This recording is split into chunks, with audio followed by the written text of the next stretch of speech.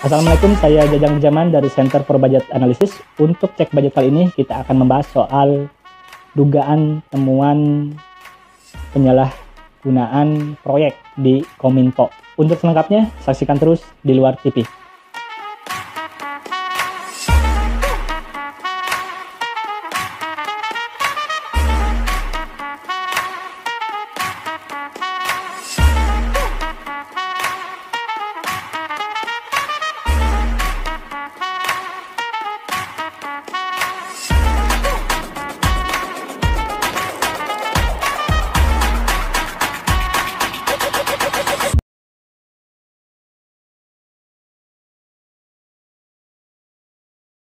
Terkait dengan penyalahgunaan anggaran, kita bisa melihat terkait dengan pengadaan.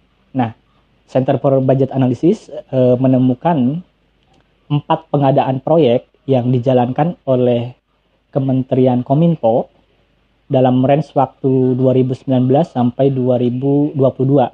Sebenarnya satu proyek, yakni proyek e, terkait dengan pengadaan jasa survei dan penyusunan e, indeks kemerdekaan pers yang dilaksanakan oleh uh, Kominfo. Nah, proyek ini dijalankan dalam range waktu 4 tahun dari 2019 ke sampai 2022 dan dari pelaksanaan tender kita bisa melihat berdasarkan dengan analisa potensi penyimpangan ternyata eh, banyak catatan-catatan yang berpotensi eh, terhadap kerugian negara. Jadi kalau kita melakukan analisa terkait dengan tender-tender, banyak eh, catatan-catatan yang harus diperhatikan. Misalnya, kalau teman-teman melihat di rancangan umum penganggaran atau di laporan pengadaan secara elektronik, teman-teman bisa melihat banyak proyek yang sudah dilaksanakan oleh e, pemerintah.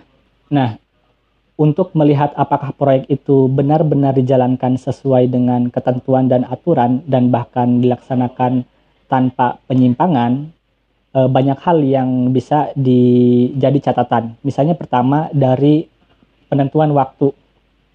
Jika proyek tersebut e, dilaksanakan di kuartal 4 atau di akhir-akhir tahun, potensi penyimpangannya sangat tinggi. Misalnya antara bulan Oktober, November, dan Desember itu di kuartal 4. Nah, ini bisa jadi salah satu e, potensi penyimpangan.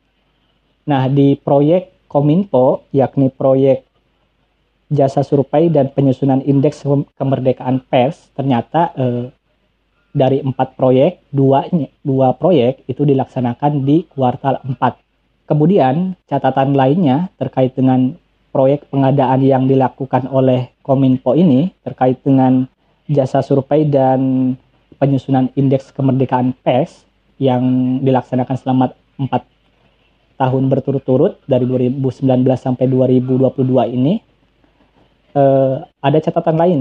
Misalnya dari uh, nama dan waktu. Kalau tadi kita lihat uh, penetapan pengumuman pasca kualifikasi sampai dengan pengumuman pemenang itu di antara dilakukan di antara bulan November sampai Desember waktu kelamaannya atau uh, waktu dari awal sampai akhir dari pengumuman pasca kualifikasi sampai pengumum, pengumuman pemenang itu kita bisa lihat juga apakah ada potensi penyimpangannya atau tidak.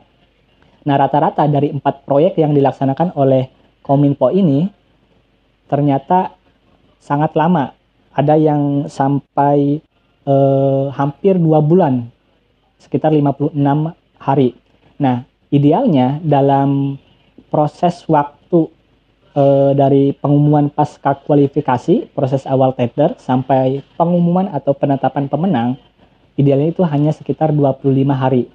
Namun yang dilakukan oleh Kominfo dari empat proyek tersebut ternyata e, kebanyakan melebihi waktu 25 hari, bahkan ada yang hampir dua bulan. Dan catatan lainnya yang tidak kalah pentingnya dari empat e, proyek tersebut ternyata yang memenangkan tender itu uh, satu perusahaan yang sama. Jadi kalau kita melihat kepada aturan pengadaan barang dan jasa terkait dengan pengadaan uh, tender, tidak boleh satu perusahaan memenangkan lebih dari uh, satu kali. Nah, ini yang terjadi sampai dua kali. Walaupun misalnya di tahun yang berbeda, ini juga bisa berpotensi atau ada dugaan eh, perusahaan favorit yang dilakukan oleh oknum Kominfo. Nah, perusahaan ini yang memenangkan eh, tiga tender dari empat tender terkait dengan proyek survei dan penyusunan indeks eh, kemerdekaan pers, yakni PTS, dengan nilai proyek dari tiga yang dimenangkan sekitar 7 miliar rupiah. Oke, sekian terkait dengan salah satu temuan proyek di Kementerian Kominfo. Saya Jajang Nurjaman, terima kasih.